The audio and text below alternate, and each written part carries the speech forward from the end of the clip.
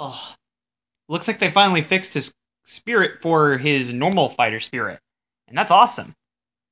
They didn't fix his Advent Children alt though, but either way, they finally fixed his regular alt though, like his regular spirit. That's good. They fixed it. I think also the balance patches we got. I didn't mention about Sephiroth earlier, so I do apologize on that. I was still happy about it. Um, one thing I should mention: this balance patch really didn't really update anyone. Just mostly think, did bug fixes and mostly focused on other stuff all around. And for Final Fantasy, goodness, it is now better represented. Now it ha- is now the best represented series for the third party series. And back then, it just had crap representation. Just wanted to make sure I let you guys know about this.